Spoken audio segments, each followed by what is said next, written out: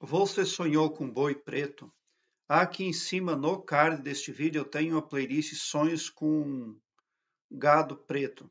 Dê uma olhada porque estes vídeos vêm a somar muito positivamente na busca pelo aumento do seu saber.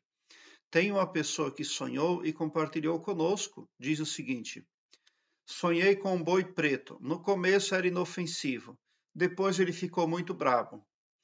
Ele passava pulando e bufando, mas não me atacava. Vi quando o boi acelerou, foi em direção a uma mulher, conseguiu afastar-se. Depois ele volta atacando e dei um tapa tão grande na cara dele, aí que ele ficou mais bravo ainda. Corri para uma árvore e lá em cima fiquei dando chutes na cabeça dele. Bom, você tem um perseguidor, mas ele é oculto. Então, seu perseguidor, ele vai no pavilhão mental das pessoas, para fazer com que as pessoas irritem você. O touro não atacava você enquanto você não dava um tapa na cara dele. Por que, que ele não atacava você? Porque ele havia esse adversário que representa pessoa física carnal ali influenciada por forças espirituais. Por que, que esse boi não atacava você? Porque esse boi havia entrado numa frequência negativa, raiva, etc., coisa ruim. E a sua frequência até então era positiva.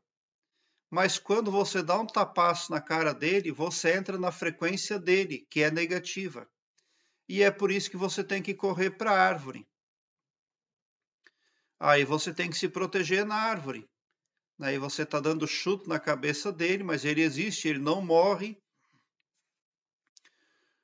Quando nós somos tentados a dar resposta a, a outras pessoas, devemos fazer isso com muito amor, com muito carinho, cuidando muito para não entrar em frequência negativa. Porque quem dá um tapa em alguém, quem dá um empurrão, quem fala mal dos outros, quem não é amoroso, automaticamente já está participando de frequências negativas. E toda frequência negativa gera magnetismo negativo. E quando você dá um tapa nesse boi preto, você entra numa frequência negativa, atraindo coisa negativa. É por isso que você teve que correr para a árvore. Você correu para se proteger né? Então você está fugindo de um problema na vida desperta, mas você também está entrando na onda das pessoas que perseguem você. Se você não tivesse dado um tapa na cara do boi preto, ele simplesmente bufaria, correria, mas não atacaria você, né? Porque não teria como, porque a sua frequência é positiva e a frequência dele era negativa. Então você estava protegido pela sua frequência, porque a sua frequência estaria gerando magnetismo positivo. Então você precisa saber desse segredo. Às vezes, eh, dar uma resposta grotesca ou à altura para o adversário representa entrar na frequência dele. Aí a gente está como ele quer. Porque frequência negativa por frequência negativa vai vencer o mais negativo, o mais macabro, né? o mais espertalhão. Então é isso que o seu sonho está falando. Você não pode entrar na frequência negativa dos seus adversários. Esse boi preto pode representar um colega de trabalho seu que está irritando você, mas se isso estiver acontecendo, você precisa ficar quieto tá? Porque você tem uma frequência e todos estão vendo qual é a sua frequência. E porque esse problema ali só se agravou porque você foi dar uma resposta, tá? Então, às vezes, a resposta também que certas pessoas precisam receber, precisam advir do Todo-Poderoso. É Ele que está à altura de nos defender de dar tal resposta.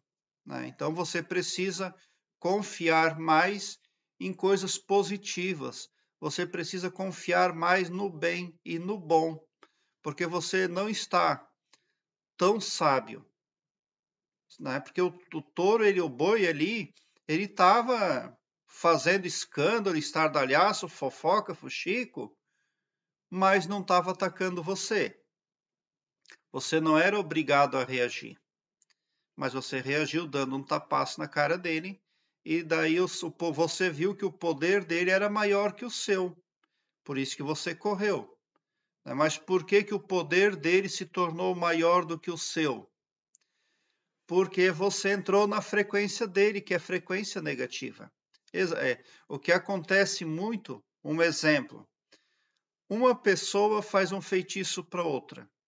E aquela outra pessoa lá, ela vai procurar um feiticeiro para se livrar daquele feitiço. Então, na verdade, está todo mundo na mesma frequência. Não tem como prever nada. Né? A, a pessoa que fez o feitiço conseguiu atrair aquela pessoa inocente para as frequências negativas da qual ela faz parte, da qual ela se utiliza.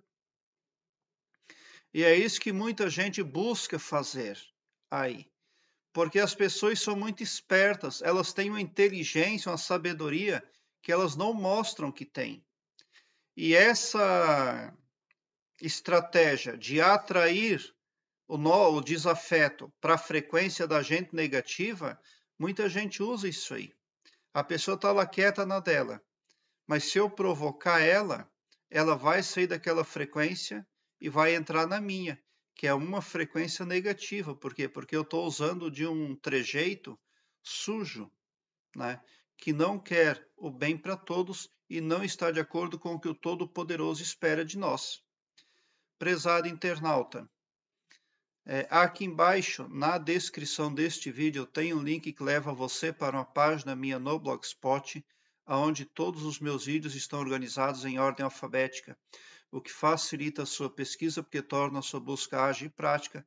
Você visualiza com facilidade assuntos nem só acerca de sonhos, mas também acerca de expansão da consciência, desenvolvimento interior, arquétipos, entre muitos outros.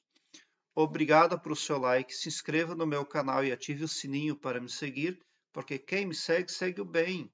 E bote um sorriso doce no seu rosto, porque se você chegou no meu canal, significa que você, vocês são os sonhadores mais amados da Via Láctea, porque o meu trabalho eu faço sempre com muito, muito amor.